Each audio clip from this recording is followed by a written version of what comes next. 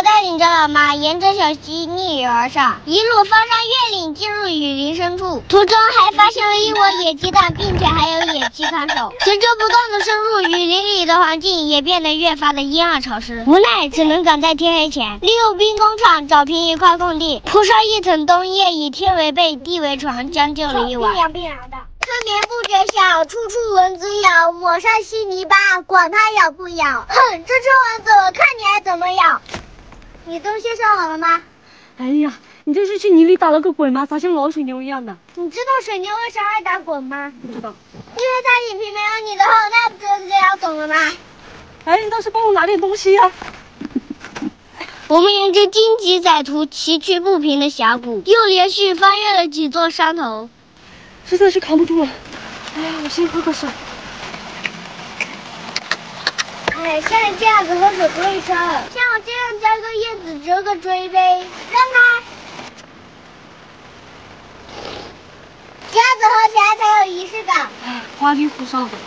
来，你看这边，我们沿着这条小狗再翻越几座山头，应该就差不多了。你可算好了，要是走到缅北大西北，嗯，那行吧，就在这附近找个空旷的地方，先搭个临时庇护所。哇，来你看，这棵老朽木上也长满了一窝老鹰菌，不过这窝是白色的。哎，这是树蛇灵芝，苦不拉几的。啊，我还以为可以吃呢。哎，你乱吃嘛，吃错了山上得长个包。啊。哇，哎你看，这里地势还算平坦，咱们分工行动，去寻找一些材料来搭建庇护所。哦。里面里到处是藤蔓，不过这藤蔓实在是太粗了，就我这点小身板根本就扯不下来。还好雨林里长满了竹子，搞上几棵带回去。由于竹子属禾本科植物，只要不破坏根系，来年还可以继续生长。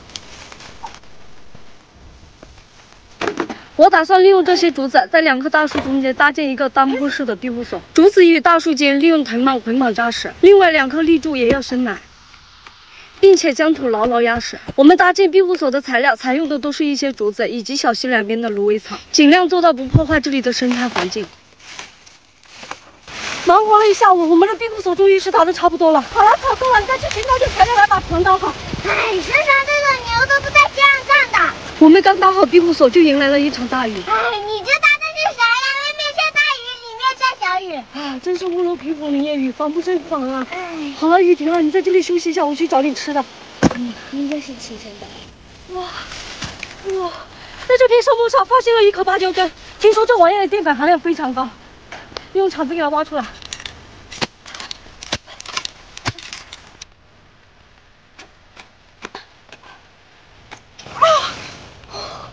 终于掰下来了。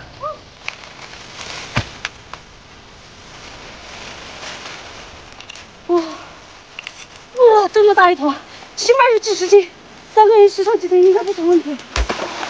直接给它清洗干净，待会切成片分着吃。哎，竹子要快来帮忙！我哪里找了那么大的树枝搭呀？哎，累死我了！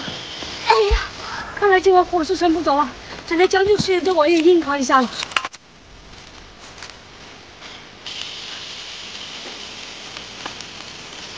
哎呦，跟砸大笨钟一样的。来，你也尝尝。哎，昨天是树心，今天可树根，这日子是一天不如一天了。